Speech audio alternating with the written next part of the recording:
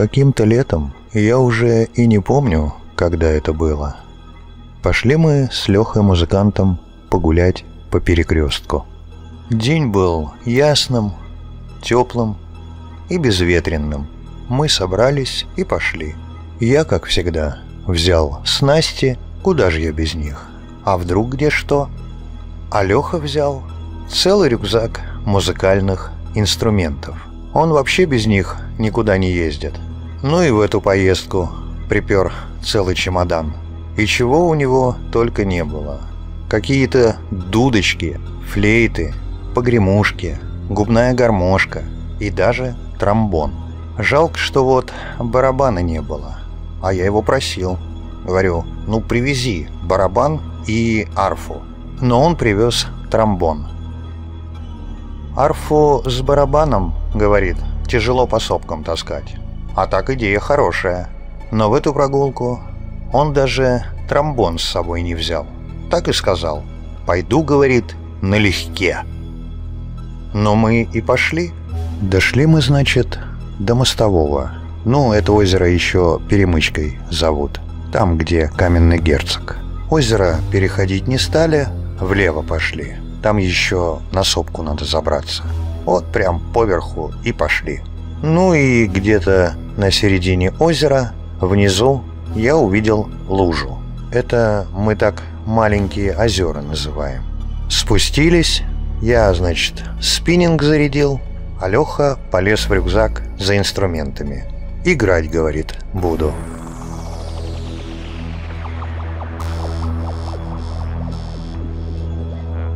Ну и пошел вдоль берега, не торопясь и останавливаясь, чтобы забросить блесну. На улов я особо не рассчитывал, ну а как вы хотите? Два часа дня, солнце в самом зените. Ну какая рыба тут? Так, может быть, на дурака выскочит, но так и не выскочила. Обошел я эту лужу, подхожу к Лехе, и тут он вытаскивает дудочку и говорит «Сейчас вот, на ней поиграю и пойдем». Я присел рядом на камешек, и Леха заиграл.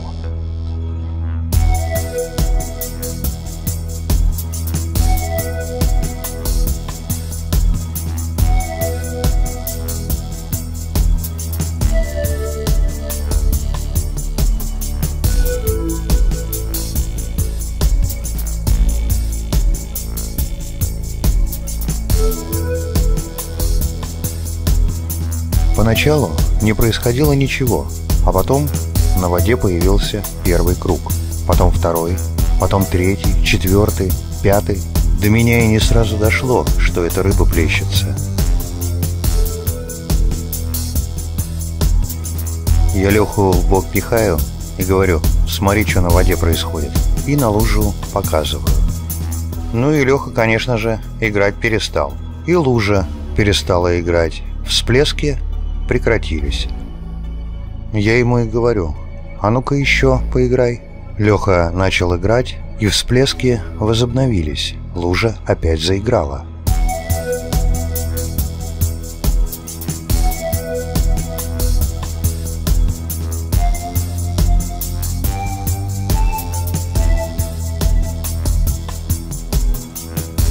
Ну и тут мой внутренний рыбак, конечно же, не выдержал я схватил спиннинг и, зачем-то пригибаясь и прячась за кустами, посеменил к луже. Алёхе говорю, ты только играй, не останавливайся. Только забросил, есть, вытащил рыбину. Второй заброс. Тут же последовал удар, но рыба сошла. На третьем опять вытащил. В общем, дело пошло. Леха играет, а я рыбу таскаю. Поймал я тогда на этой луже где-то с десяток кумжаков и остановился. Ну, во-первых, впереди нас поджидало немалое количество озер, а во-вторых, Леха перестал играть. Говорит, все, устал. Ну и в-третьих, я думаю, некоторые рыбаки меня поймут. Вот то самое чувство, когда ты идешь на какое-нибудь заветное озеро из серии «Ну вот там рыбалка так рыбалка» и по пути остановился на каком-нибудь невзрачном водоеме, на котором никогда не останавливался. Ну и так думаешь, а заброшу-ка я удочку. А вдруг что? И сработало. И вот пока таскаешь, азарт и все такое, а потом накатывает такое чувство, что и вроде рыбу поймал, а цели не достиг. Ну не дошел ты еще до того самого озера. Не забросил ты там еще удочку, а рыбу уже поймал. Какое-то неправильное ощущение. Нечестное, что ли. Но появляется уверенность. Рыба-то у меня уже есть, и ты уже не бежишь на это озеро, сломя голову, а идешь степенно, не торопясь, уверенно. Вот так мы с Лехой дальше и рыбачили. Приходили на озеро, он брал дудочку, играл, а я ловил. Ну и, конечно же, мы экспериментировали. Он менял дудочки, играл на каких-то других музыкальных инструментах, но все было не то. За день до отъезда мы пришли с ним на Пролетарское. Но это то самое озеро, на берегу которого стоит исполнитель желаний. Почему Пролетарское? Да любит это озеро красный цвет. Вернее, рыба, которая в этом озере водится. Помню, стоял у меня на удочке такой красный-красный поплавок. Ну и рыба в первую очередь на него бросалась. А потом понимала, что съесть это нельзя, опускала глаза и видела красного червяка. Ну и с блеснами то же самое. Какие только не пробовал. Работали только красные. Ну и пришли мы, значит, на Пролетарское. Я снасти с собой не брал, а вот Леха дудочку взял. Ну и как только пришли, конечно же, начал играть. И буквально с первых нот на поверхность озера всплыла рыбина. Здоровенный такой кумжак. А потом она начала танцевать. Да-да, именно танцевать. Ну, как это делают дельфины. Не верите, да? А вы у Лехи спросите. Особенно про то, как я боролся со своим внутренним рыбаком и как я впервые его победил. Вот так мы и сидели на берегу озера. Леха играл, а рыба танцевала. Но это была только присказка, а сейчас будет сказка. Меня часто спрашивают, а почему я не прошу ничего у исполнителя желаний? И я, пожалуй, об этом расскажу. Дело было на перекрестке, мы тогда с Димой там были, ну тот, который Муля. Тогда много народу было, но история приключилась именно с нами. В один из дней, когда мне все уже надоели, я решил уйти и побродить в одиночестве. Муля хотел со мной пойти, но я его быстренько отшил. Мол, так и так, я пойду на Пролетарское, а это персональный мой заповедник. И там тебе делать нечего. Поэтому иди-ка ты, дружок, в другую сторону. И он, как ни странно, очень быстро сдался. В общем, мы разошлись. Шел я, не торопясь, морожку по пути собирал. Много ее тогда тем летом было. Ну и через какое-то время оказался на берегу своей любимой пролетарской лужи, там, где рыба танцевала. Закинул я удочку и начал ходить вдоль берега со спиннингом. Там заброшу, здесь заброшу. Хожу, в общем, и медитирую. Ну и что-то задумался. А задумался я вот над чем. Что там за гранью этого мира или матрицы? Какие там миры и где же все-таки находится та самая дверь в лето? Знакомые мысли? Я думаю, что они вас тоже посещали.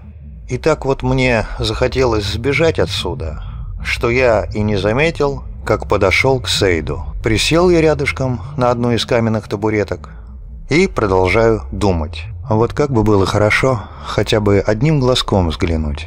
Как там за гранью-то? Ну, а потом глаза на Сейд поднимаю и говорю ему, мол, показал бы, что ли, уже. А то хожу вокруг да около, тыкаюсь по углам, как слепой щенок. А выход-то где? А Сейд молчит, словно он не при делах, и это вообще обычный камень.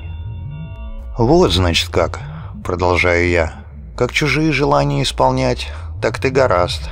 Как меня мордой в сугроб тыкать, так это запросто. А тут молчишь.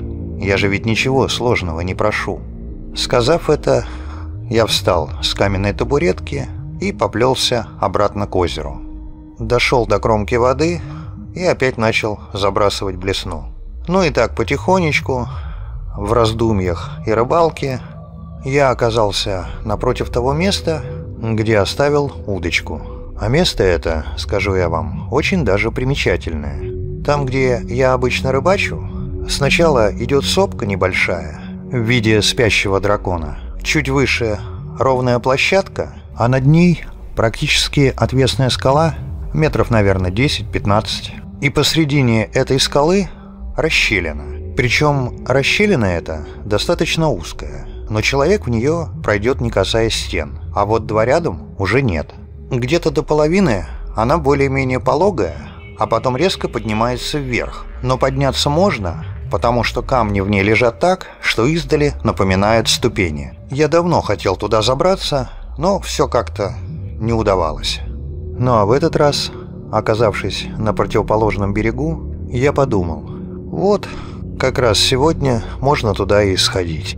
Ну и глаза повыше поднял, чтобы посмотреть, как мне туда забраться – и обомлел. Нет, все было нормально, за исключением расщелины. Сначала я подумал, что ее засыпало снегом, потому что внутри она была заполнена чем-то белым. Но потом я понял, что это не снег, потому что оно колыхалось и меняло оттенки.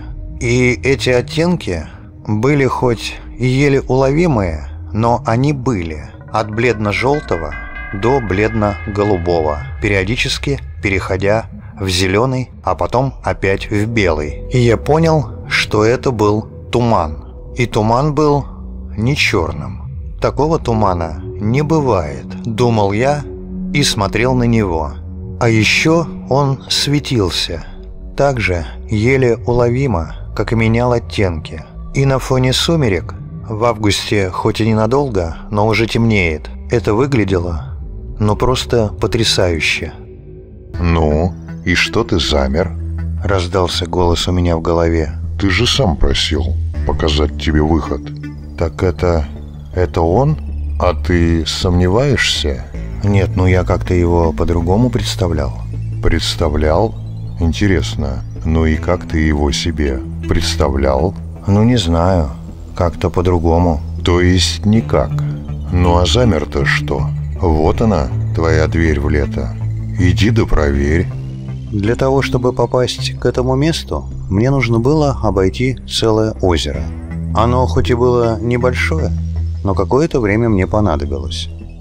Поначалу я шел очень быстро, практически бежал. Но чем ближе я подходил, тем мой шаг становился медленнее. И пока я шел, я думал, что ну вот, наконец-то, я нашел этот выход – и стоит мне туда зайти, то я попаду... Стоп, а куда я попаду? Нет, ну как куда? Туда, куда хотел, в другой мир. Знаешь, я давно хотел тебя спросить, а ты этот мир узнал полностью? Прервав поток моих противоречивых мыслей, спросил голос. То, что он принадлежал Сейду, я даже и не сомневался. Так я же не навсегда ухожу, а так просто посмотрю. Просто посмотришь, да? Ну ладно тогда, посмотри. Ну а все-таки, что ты там хочешь увидеть? Ну как что? Что-то другое. Там же другой мир. Какой ты все-таки забавный. Ты понятия не имеешь о том, что представляет из себя этот мир, и пытаешься убежать в другой. Да никуда я не пытаюсь убежать. Я просто посмотрю. А, ну да. Ты посмотришь, а потом вернешься обратно. Ну-ну. То есть ты хочешь сказать, что я не вернусь?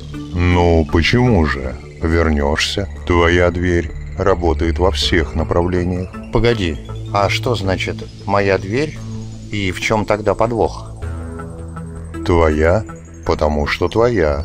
Ты ее открыл, и только ты можешь в нее войти. Ну, а то, что ты называешь подвохом, ну вот скажи-ка мне, Луна — это другая планета, другой мир? Ну, планета, наверное, другая. А мир, ну как он может быть другим? Она же часть этого. Ну, хоть что-то ты понимаешь. А вот теперь попробуй понять. Твоя дверь позволит оказаться тебе на Луне моментально, но только тебе. Но для остальных будет все выглядеть несколько иначе. Вот скажи мне, сколько времени тебе понадобится, чтобы дойти до Луны пешком? Ну не строй из себя калькулятор. Давай возьмем абстрактное число, ну, допустим, 50 лет. И это только туда. А что, быстрее никак? Ты же сам сказал, что я окажусь на Луне моментально. Ты-то окажешься. Но отсюда ты ушел пешком.